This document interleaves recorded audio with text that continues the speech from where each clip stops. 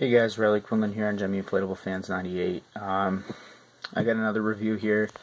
If you guys saw my unboxing video, I got this from Justin Johns along with the um, M&M Tree Inflatable. Um, this is the, I believe, oh yeah, five foot tall Eeyore. Um, I thought it was six foot for some reason, but it is five foot tall. Um, it does have a base fan. Um, I really like the color on it. It's actually pretty cool. It's more of like a teal color, and you'll see in a minute here when I take it out and inflate it. Um, I know that Chris Sauls also has this, so shout out to him. Um, I got this for $40 free shipping, which was awesome. I mean, this is a harder to find inflatable. Um, I actually, I think he got it for a real good deal.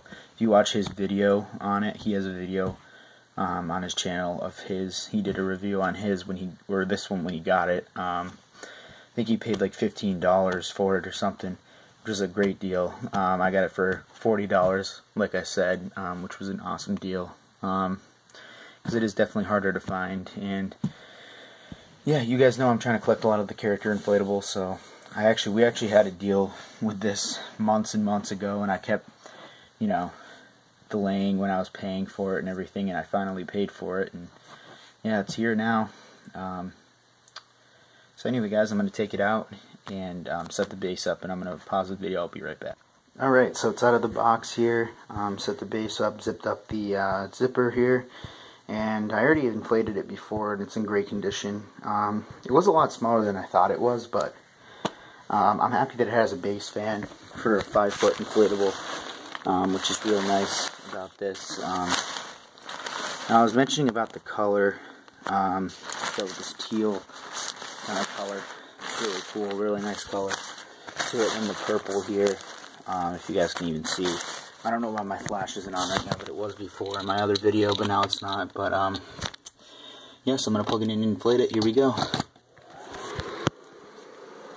Lights up great. This is basically brand new condition.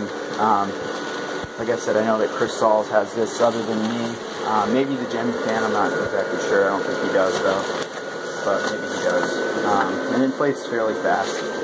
The ears take a little bit to inflate because it's so thin in between here. It takes a little bit, but um, you know, I'm not worried about that.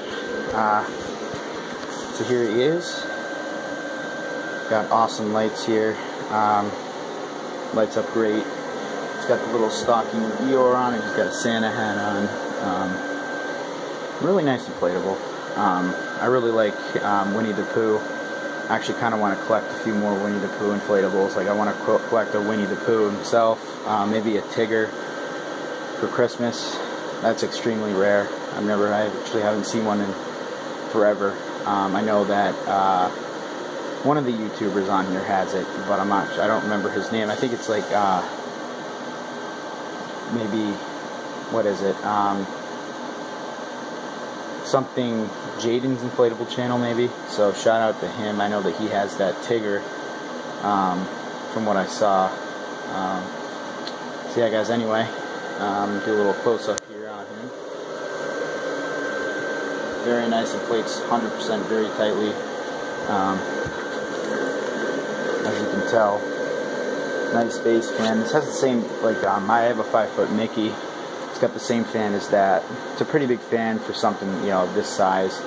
So I'm surprised like Gemmy hasn't, because there's a lot of inflatables that Gemmy just puts the cheap fans in and it's really annoying.